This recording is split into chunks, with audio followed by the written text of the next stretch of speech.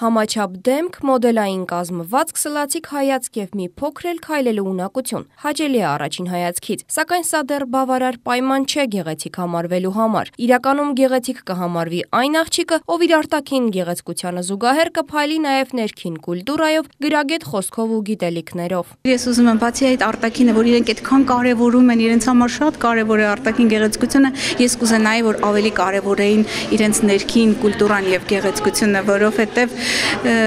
հաստատ առանց ներքին գեղեցկության շատ շուտ եւ հեշտ կխամրի արտաքին գեղեցկությունը։ Հենց սա է ընկած Top Model Հայաստան Production-ի աշխատանքի հիմքում բացահայտել եւ ներկայացնել գեղեցկուհիների, ովքեր կփայլեն իրենց խելացիությամբ։ Top Model Հայաստան 2014 մրցույթին ընթരാճ Production-ը մոդելներին հնարավորություն ընձեռեց մասնակցել Էթիկայի դպրոցի արտաքին տեսք եւ իմիջ դասախոսությանը։ Նման դասընթացները մեզ շատ բան են սովորեցնում, քալված, կեցվածք, հանդիսատեսի հետ շփում։ Մենակ արտակնապես գեղեցիկ լինելով կարծում եմ, որ իրենք գեղեցիկ են, բայց ինձ համար կոնկրետ գեղեցկությունը ոչ միայն արտաքինն է, այլև ներքինը։